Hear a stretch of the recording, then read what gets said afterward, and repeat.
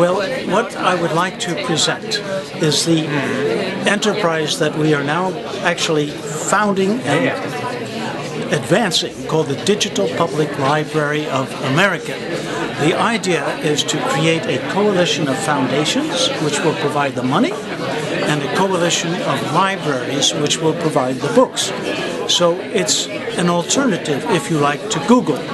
What we want to do is to make this open access, free of charge, uh, and something so enormous and rich that it will bring the entire cultural heritage of the United States to the people of the United States, but also to everyone in the world.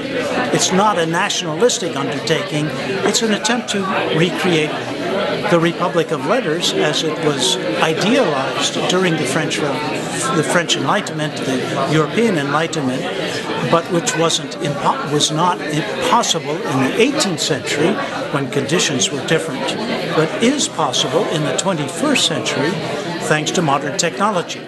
So this sounds awfully abstract, but we actually have a quite practical, pragmatic business plan, a whole strategy for making this happen, and we uh, expect to announce it at a huge meeting in Washington next October.